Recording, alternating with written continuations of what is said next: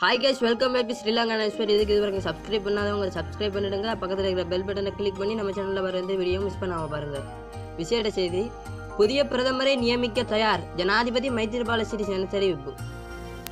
நாடாளுமன்ற நிலையியல் கட்டளைகளுக்கு அமைய பெரும்பான்மையை நிரூபித்தால் புதிய பிரதமரை நியமிக்க தயாராக இருப்பதாக ஜனாதிபதி மைத்திரிபால சிறிசேன தெரிவித்துள்ளார்.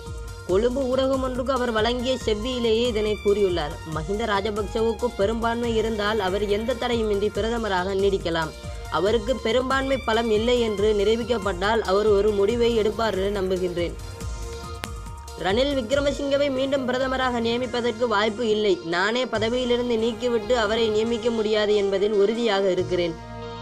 நாடாளுமன்ற பெரும்பான்மையை காட்டும் போது கட்சித் தலைவர்கள் இணைந்து பணியாற்ற வேண்டிய பொறுப்பு உள்ளது. இருநூத்தி இருபத்தஞ்சு பேரை கொண்ட சபையில் யாருக்கு பெரும்பான்மை உள்ளதோ அவர் பிரதமராக இருப்பார் என்றும் அவர் கூறியுள்ளார். மேலும் இது போன்ற செய்திகளை தொடர்ந்து கேட்க நம்மளோட சேனலை சப்ஸ்கிரைப் பண்ணுங்க. மறக்காம இந்த வீடியோ லைக் பண்ணுங்க. நன்றி.